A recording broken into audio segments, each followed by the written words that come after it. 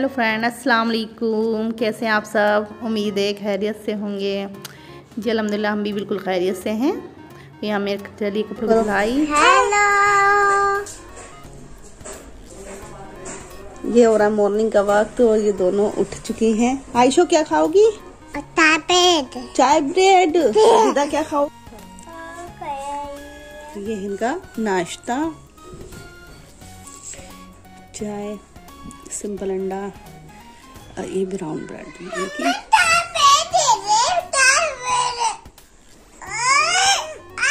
ओ, ओ, ओ, अच्छा अच्छा मैं दे रही हूँ सीधा नहीं मारो आयशा को। कैसे तो पूछ लो। आज ये नाश्ता कर लीजिए। आशु भी तो खाएगी आशु। खाओ आप भी खाओ। हाँ खा लो। नो नहीं नहीं ये खा लो। लो क्या खाना है? नन्ना खाना है? आ, नन्ना खाना है। ये नन्ना खाएगी आशु आहा। आयशा को सिर्फ़ झगड़ा करना आता है। ओल नन्ना खाना है। ओल नन्ना। आप खाओगी आयशुदीदा आप तो यहाँ पर देखिए, घर भी थोड़ा फैला हुआ है। अब करेंगे आगे सफ़ाई। बच्चे नाश्ता कर चुके हैं। तो मैं यही दिखा रही थी इन दोनों का नाश्ता। उठकर इन लोगों का हुआ है अभी ब्रेकफास्ट तो दोनों बहनें कर रही थी। झगड़ भी रही थी और वो भी कर रही थी। ये लोग ऐसे ही करती हैं। तो दोनों की चॉइस से बनाना पड़ता है। जो पूछो बच्चों से, जो बता दें बच्चे तो फिर वही बना कर देना पड़ता है।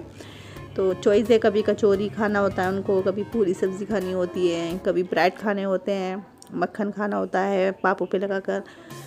तो आज उनकी फरमाइश ब्रेड थी। यहाँ पे मैं दिखा रही थी अपना ये बॉयलर बॉयलर का जो ढक्कन है वो जल गया था थोड़ा सा तो वो मैं दिखा रही थी आपको। तो बस अब किचन क्लीन कर दूँगी, अपने वॉश हो जाएँगे मेरे बर्तन। तो प्यारे प्यारे व्यूवर्स आपसे एक रिक्वेस्ट है, बस चैनल को सब्सक्राइब कीजिए प्लीज़ सपोर्ट कीजिए लाइक कीजिए, मेरी वीडियो शेयर कीजिए। तो यहाँ पर मैं सफ़ाई कर रही थी, अपनी टैब वगैरह धो रही थी। तो बर्तन सारे क्लीन हो चुके हैं।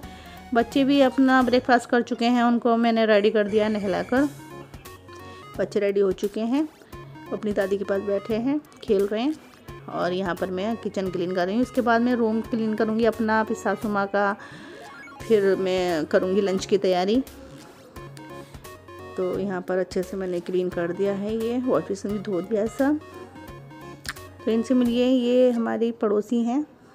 बहुत अच्छी आदत की हैं तो उन्होंने कहा, भाभी, हमको भी वीडियो में आना है। तो ये भी आती है, थोड़ा मन लगाती है, बहुत बहुत हंसमुख बहुत हंसती है। तो गुड पर्सन तो ये आई हुई थी।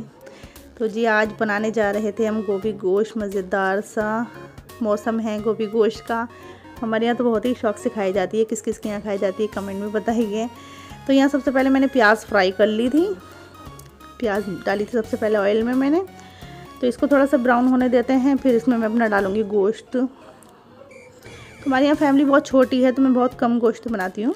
तो मटन ही हम मंगा लेते हैं तो ये है हमारा थोड़ा सा मटन का गोश्त है। प्याज मेरी ब्राउन हो चुकी है, अब मैं इसमें डाल दूँगी अपना मटन का गोश्त। ये मटन डाल दिया मैंने, अब गोश्त फ्राई कर लूँगी।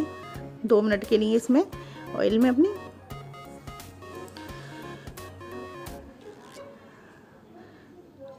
तो जी दो मिनट हो चुके हैं, ये फ्राई हो हो रहा है हमारा गोश्त। अब इसमें डालूँगी मैं लहसुन, अदरक का पेस्ट।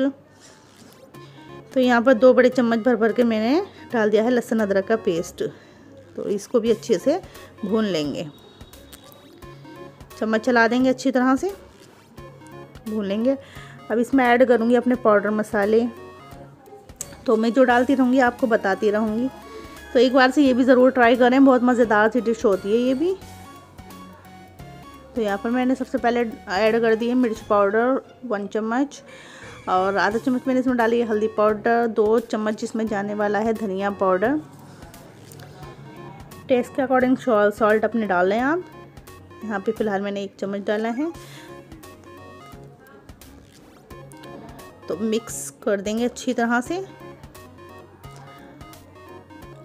अब इसमें डाल लगा लूँगी तीन मिस्टर। तो तीन विज़ल के बाद मैंने इसको देखिए अच्छी तरह से भून लिया है। रोगन हमारा छोड़ चुका है गोश्त।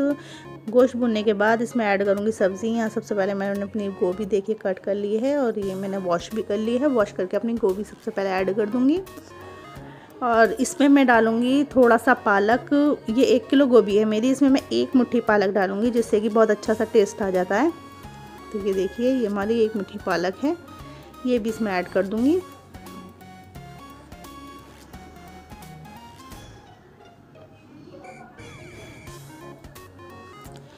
सारी सब्ज़ियाँ ऐड हो चुकी हैं। इसमें मैंने बहुत थोड़ा सा पानी डाला है, आधा कप कह सकते हैं आप, चाय का कप होता है आधा कप। क्योंकि ये पालक पानी छोड़ता है। बस इतने ही पानी मैंने डाला है, देख सकते हैं आप। अच्छी तरह से मिक्स कर देंगे। मिक्स करने के बाद इसमें मैं एक विज़ल ले लूँगी। तो बहुत मज़ेदार सा लगता है, ये तो सभी की फेवरेट होता है मेरे ख्याल से तो क्योंकि, सर्दियों के मौसम में गोभी गोश्त वाह हमारे यहाँ तो बहुत ही शौक से मेरे हस्बैंड मेरी सासू माँ सब बहुत शौक से खाते हैं। तो ये देखिए, एक विज़िट के बाद मैंने ये खोल लिया है। देखिए, पानी इसमें बहुत कम है तो इसकी अब भुनाई कर लेंगे अच्छी तरह से।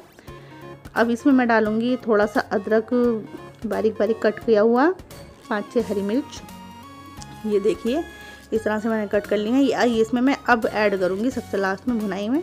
बस इसको अच्छी तरह से भून लेंगे। अपना आप नमक वगैरह सब टेस्ट कर लें कि नमक ठीक है या नहीं। मैंने टेस्ट कर लिया था।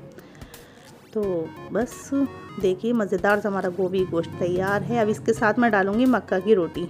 मेरी सास मैं बहुत शौक से खाती हूँ मक्का की रोटियाँ। तो यहाँ पे मैं बना रही थी, देखिए, मक्का की रोटी। बहुत मज़ेदार सा लगता है ये मक्का की रोटी से। तो यहाँ रिदा अपना होमवर्क कर रही थी।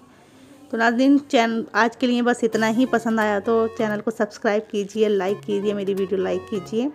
प्लीज़ शेयर कीजिए हौसला अफजाई कीजिए ताकि हम अच्छे अच्छे ब्लॉग बना सकें। अभी शुरुआत है, आगे आएँगे इन और बहुत बहुत अच्छे ब्लॉग्स आएँगे। तो चैनल को सब्सक्राइब कीजिए ताकि ब्लॉग कीजिए। अल्लाह हाफिज़।